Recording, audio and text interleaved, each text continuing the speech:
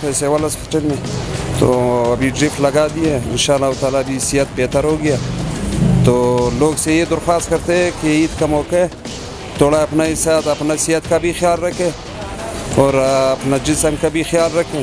کیونکہ یہ جو ہے، اس حالات میں جو لوگ زیادہ کھاتے ہیں یا زیادہ وہ کرتے ہیں، تو انسان سے ہمخواہ بیمار ہوتے ہیں۔ یار سر گوشت کھایا عید کی بڑی خوشی تھی۔ عید کی خوشیوں میں شما خوش خوش تھے۔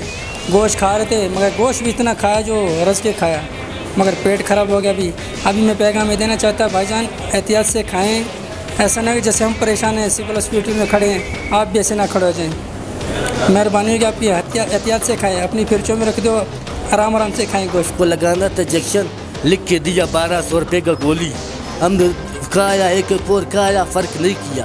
ابھی واپسی میں ہم نے لایا بتا اس کو بینک کو تم کو انجیکشن لگائے گا۔ ہمارا بارہ سو روپیہ گیا۔ ابھی ہم کیا کریں؟ تھوڑا سا بھی فرق نہیں کیا۔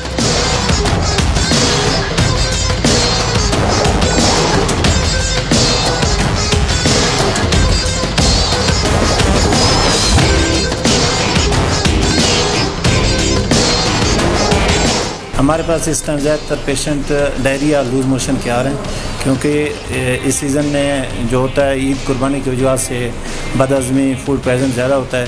اس کی وجہ سے یہ مسئلے زیادہ تر لوگوں کے ساتھ یہ مسئلہ کریٹ ہوتا ہے کہ دست الٹیاں زیادہ ہوتی ہیں۔ زیادہ تر یہ پیشنٹ ہمارے پاس آ رہے ہیں۔